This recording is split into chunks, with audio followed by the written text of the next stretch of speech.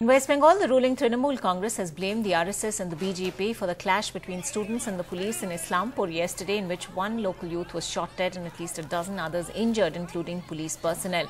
The BJP has also called a 12 hour bandh in North Dinajpur today, which the Trinamool has said which will strongly oppose.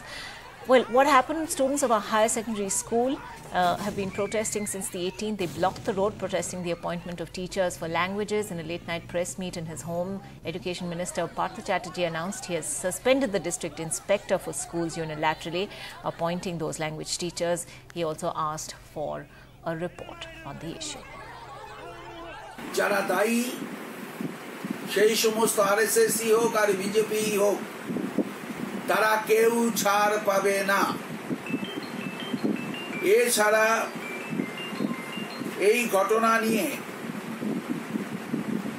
যদি দেখা যায় যে police বা প্রশাসন বা ওই বিদ্যালয়ের প্রধান শিক্ষকের